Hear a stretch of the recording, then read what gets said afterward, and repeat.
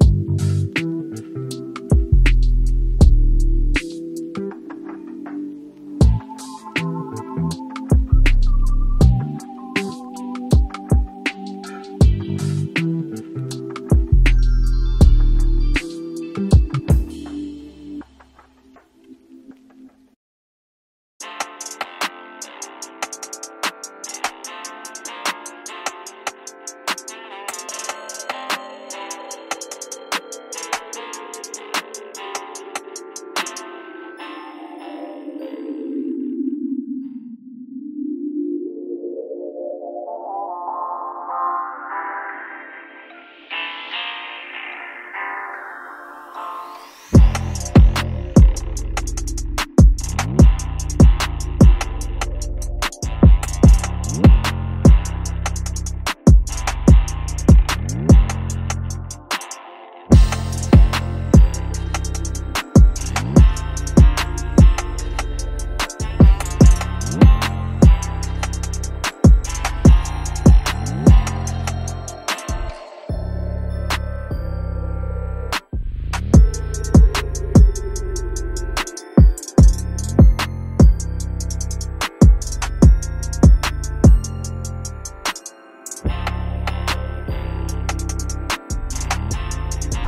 All right, folks.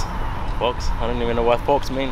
Mean we're ready to go home. Um, as you you you will see, the guys were working on the fence, but uh, we don't even finish. We have to. We finished the 90% of the fence. We still need to finish right here. Uh, I need to power wash that one, that little section, and finish it and cut the gate, stain it. That will be it right here. And uh, once the house is almost ready, we need to do work on the landscape and uh, the concrete in the backyard. But, uh, looking better already. That section right there looks really good. The other one too. So we'll see what we have tomorrow. So let me know what you think about the fence work. See you tomorrow.